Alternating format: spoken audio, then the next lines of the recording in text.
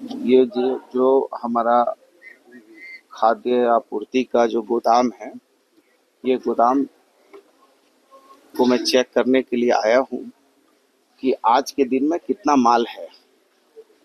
और जो stock register में कितना माल है, कितना माल निकला है, ये तो कोई मेरे घर का तो है नहीं। मैं इस विभाग का कस्टोडियन हूँ। मालिक तो नहीं हूँ। तो मंत्री जब कस्टोडियन है तो पदाधिकारी भी कस्टोडियन है। और यदि कस्टोडियन के अंडर अंदर से यदि सामान की गड़बड़ियाँ होंगी तो इसी के लिए तो मुझे बैठाया गया और आदरणीय हेमंत सोरेन जी के नेतृत्व में ये सरकार जनता का, जनता के लिए, जनता के द्वारा चुनी सरकार है और जनता के हित में काम कर रही है। और हमारी मैडम सोनिया गांधी जी ने, राहुल गांधी जी ने फ़ूड सिक्योरिटी एक्ट लाया था।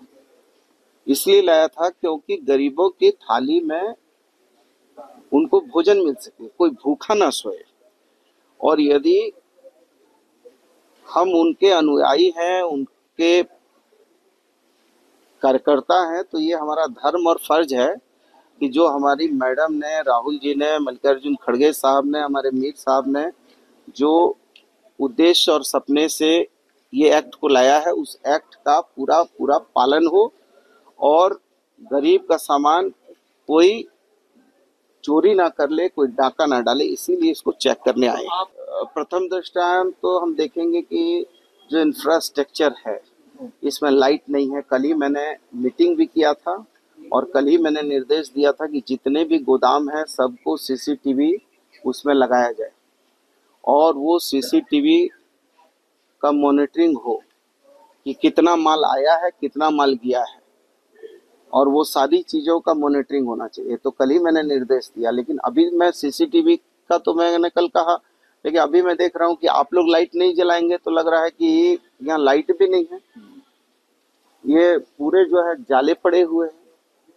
तो वो तो खैर इंफ्रास्ट्रक्चर में गड़बड़ी है, उसको तो थोड़ी बहुत कमी खामी को दूर किया जा सकता है। लेकिन असल ये है कि यदि दाल, चावल, चीनी और नमक, यदि ये यदि डकैती हो हुआ है या हो रहा है उसको रोकना हमारा फ़र्ज़ है। तो उसके लिए वो स्टॉक को अभी हम हमने एसडीएम साहब को बुलाया डीसी साहब कहीं पर गए हैं सारे पदाधिकारी डीएसओ वगैरह और एमडी वगैरह हैं यहाँ।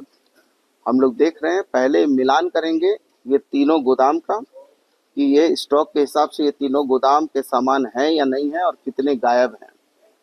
उसके बाद फिर मैं आपको विधिवत बता पाऊँ